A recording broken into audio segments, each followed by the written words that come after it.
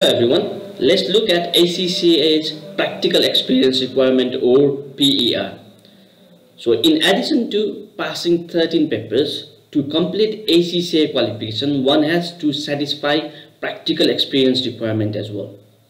You can demonstrate practical experience requirement by having 36 months of relevant work experience and completing nine performance objectives under direct supervision of professional accountant. Thank you.